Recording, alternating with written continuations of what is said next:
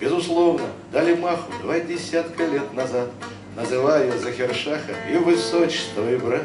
Мы ему завод плотину, мы даем ему угля, да любили мы скотину Захершаха короля. До зубов вооружили, утопи его хорон, а вообще неплохо жили с этим самым Захером. Но целуясь с господами, тот, кто был превыше всех, заложил кирпич фундамент под Кабульский политех. Но история как средство по весоме кирпича. Где Захир, где королевство, только камень Ильича. Началась другая эра, там, конечно, а не тут. Мы приветствуем премьера по фамилии Дауд.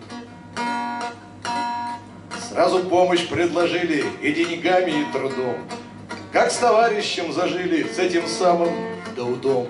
Только снова дай маху, сей революционер оказался братом Шаха и агентом ФБР. Он подлым и двуличным, а его же, как на грех, целовал у трапа лично тот, кто был превыше.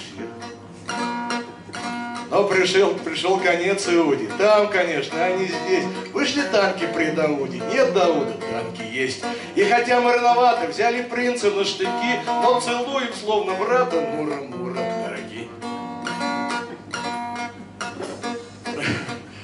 Правда, он подлез прожженный.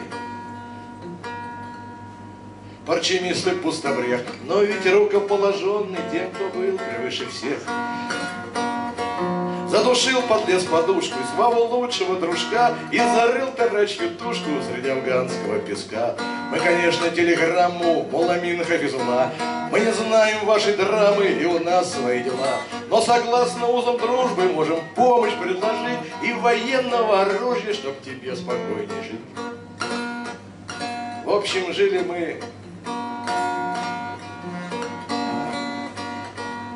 неплохо и с Амином до конца, расстреляв его со вздохом, посереть его дворца. Сразу радио включили, мол, афганская земля, про тебя мы не забыли, на бобра как кармаля.